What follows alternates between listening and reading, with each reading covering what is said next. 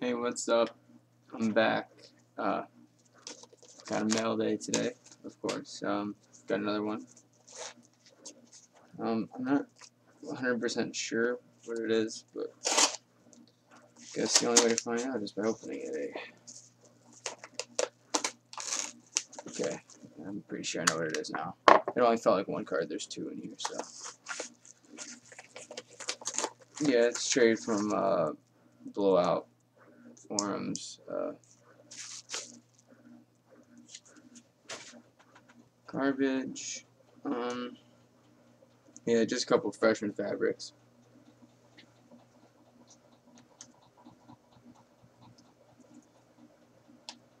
Traded just a uh, an auto form, so I figured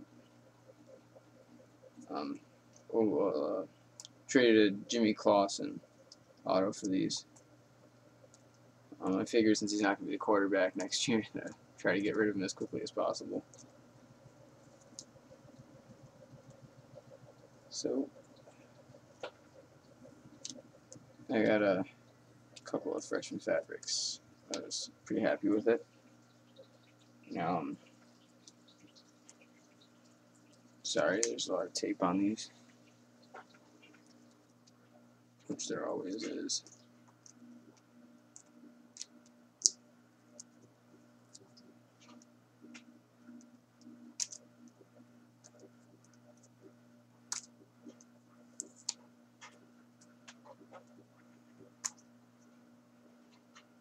Alright.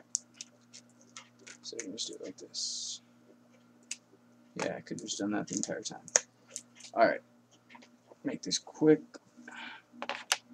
Um, first freshman fabric. Uh, ben Tate. These are both out of 699, of course. This is 603 out of 699. Oops. And I've actually been trying to get his auto for a little while, or yeah, his auto for a little while just because uh, I liked him when he was in college. uh, Toby Gerhart, dual jersey auto, at 6.99. That's 97 of 5.99.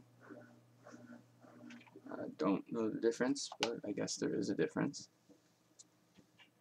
Alright. Those are uh, for trade. They'll be on my Photobucket tonight as well.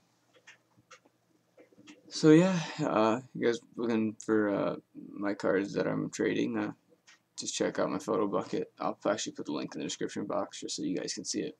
Alright, see you later.